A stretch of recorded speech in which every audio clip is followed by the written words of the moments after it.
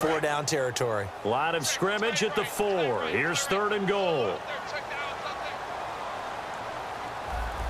They come up in an offset I. Kaepernick now to throw. And he's going to take it in. Touchdown, San Francisco. Torrey Smith, his second touchdown of the game, his third on the year. And the 49ers add six to their lead. So on third and medium, and it works to hit the end zone. And it's really not a surprise to me. That's a throwing down in the NFL because of how tough it is to run the football. But what offenses like to do is still